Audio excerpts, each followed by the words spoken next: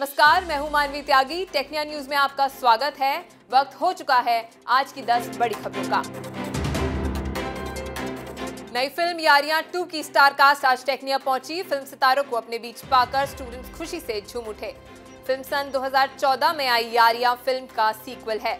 Film में दिव्या खोसला कुमार, पल पुरी और निज़ाम जाफरी लीड रोल्स में हैं। It's a family movie about bonding between cousins and it's about growing up in life.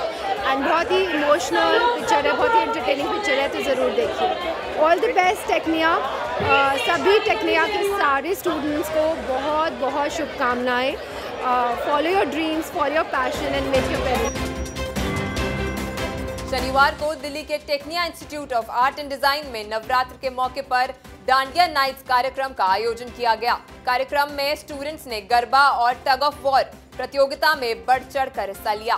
विजेता स्टूडेंट्स को पुरस्कार देकर सम्मानित किया गया। मेगा स्टार सलमान खान और कैटरीना कैफ की अपकमिंग फ़िल्म टाइगर थ्री का पार्टी ट्रैक सॉन्ग लेके प्रभु का नाम रिलीज़ कर दिया गया है। गाने को अरिजीत सिंह ने आवाज़ दी है। वहीं सलमान खान और कैटरीना कैफ भी शानदार अंदाज में डांस करते हुए नज़र आ रहे हैं। 27 अक्टूबर को गृह मामलों की स्थायी संसदीय समिति की बैठक में संविधान के तीन आपराधिक कानूनों को हटाया जाएगा। वहीं उसकी जगह तीन नए बिलों को अंगीकार किया जाएगा।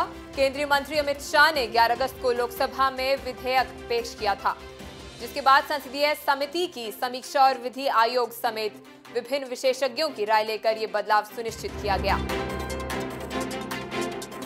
भारत के पहले मानवयुक्त अंतरिक्ष गगनयान मिशन में महिला भी अंतरिक्ष में जाने वाले लोगों में शामिल रहेगी।